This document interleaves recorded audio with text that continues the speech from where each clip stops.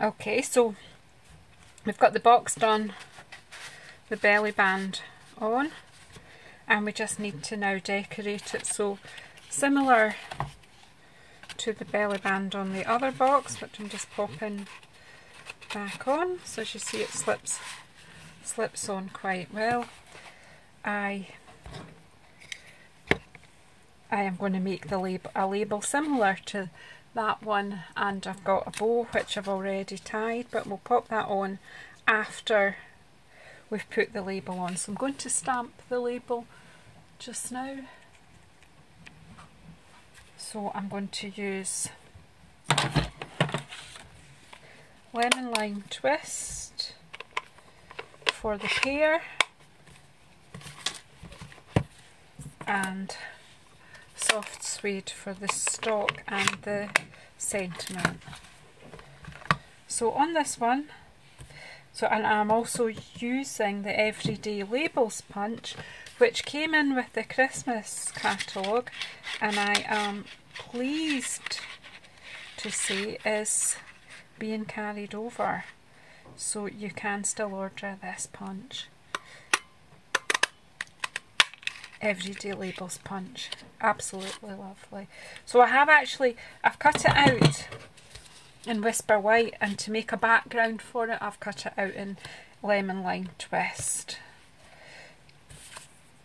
So first of all I'm going to stamp the sentiment. I've put hello friend here so I'm going to do that in the soft suede.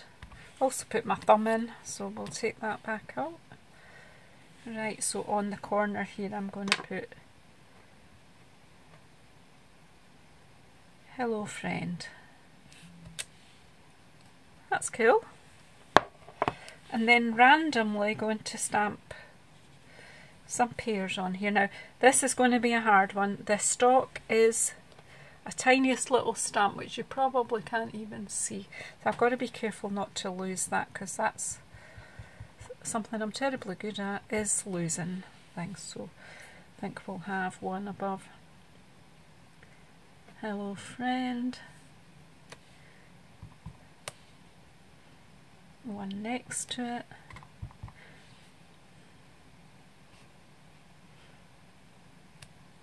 One on there and one here, not the full part of it. Oh gosh, I thought I'd lost it already.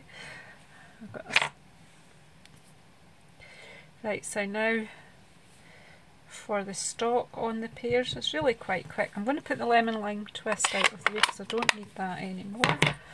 And bring down the soft suede now. Which way round does this stalk go? That way. The fat bit to the top I think. Very small so We'll see if I've got it right. And then just place it there. Oh, that's okay. Only need to do it three times because the fourth pear is off the page. Wow, there you go. So that's the stamping done. So we'll get soft suede out of the way. I think I'm going to have fun with that little stamp set. They're very cute.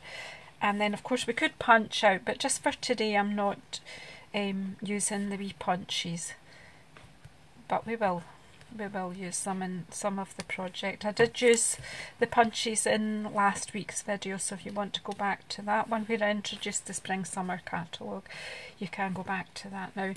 To provide a border obviously it's not going to look fab um, if it's like that together because you're not going to see the lemon lime twist so we can do lots of things so for this one I'm actually going to do a bit ski with. What I did with that one was cut it in half and then move it slightly so you see it's not quite joined in the middle but it works. But I'm just going to do a wee bit, this is my favourite word, ski with. I'm pretty good at ski with, I don't even have to try to do that.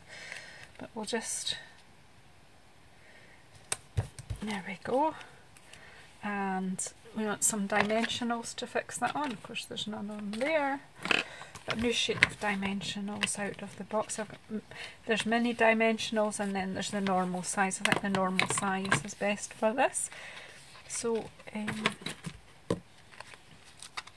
with the, the normal size ones I can use my fingers.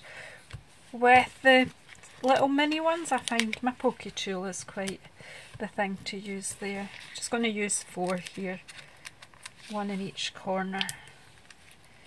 These are by far the easiest dimensionals I've ever come across in my crafting life.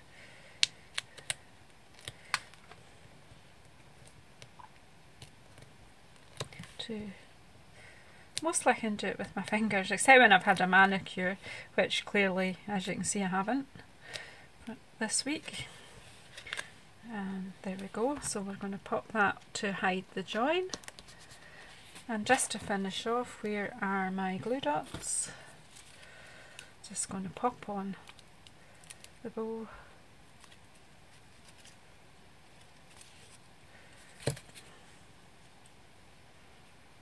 Just so that I just put, you don't need as many as three wee glue dots on, but I just do that just to make sure that it stays where I want it to be. Again, I'm going to put the bow on at a jaunty angle or ski whiff, whichever way you look at it. There we go. Voila! That took far longer than I expected. But there you go. Two boxes. Now, you could, you know, you can hold some notelets and cards in there. I wonder what else you can hold, put in there. wonder about tea lights. I'm not quite sure how many, I've not got too many here, but let's have a look in this box and see what else you can, I'm sure you could think of loads of things that would fit in here. So one, two, three along the bottom. Have I got any more?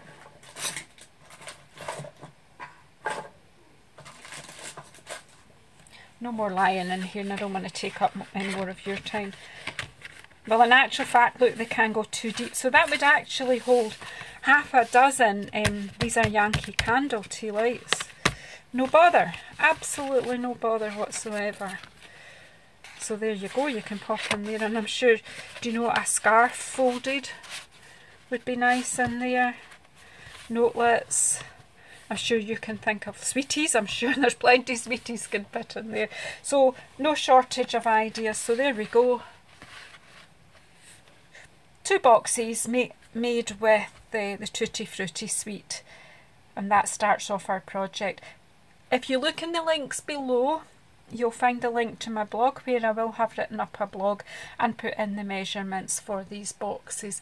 Be interested to see if any of you use the idea and make anything and what ideas you come up with um, of things that could go in these boxes. Let me know.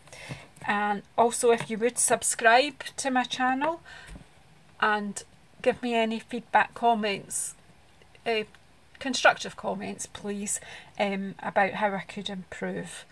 Thanks very much for sticking with me. If you have any questions, get in touch. There's various links in the description box below of ways that you can get in touch with me. Thanks very much.